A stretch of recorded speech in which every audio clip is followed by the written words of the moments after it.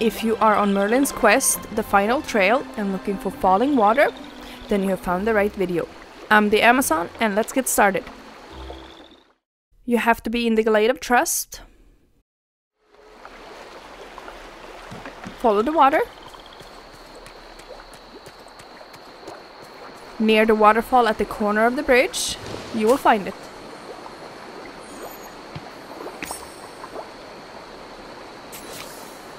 I hope this video helps, and see you next time. Bye bye!